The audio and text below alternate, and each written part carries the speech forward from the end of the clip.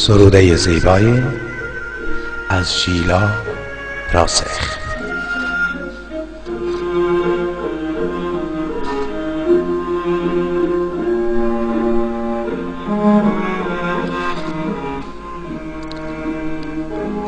با نگاهت به خدا مست شدم. با نگاهت به خدا مست شدم. واله شدم. در بدر از خانه و کاشانه شدم. واله شدم در بدر از خانه و کاشانه شدم.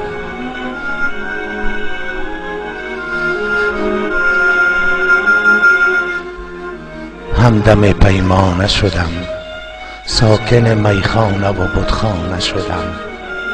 عارف و دیوانه شدم.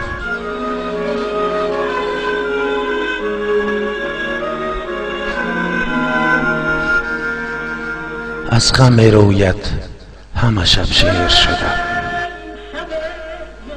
از غم رویت همه شب شعر شدم. شور شدم ساهر و شاهر درگاه شدم. در طمع گوشه چشمی ز تو من خار شدم. عاجز و بیمار شدم زار شدم. خسته و بیزار شدم. خسته و دل مرده و بیتاب شدم.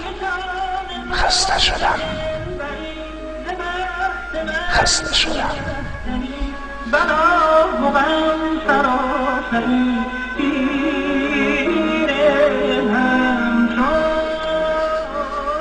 با نگاهت به خدا مست شدم.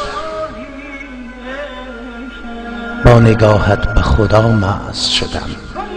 واله شدم در بدر از خانه و کاشانه شدم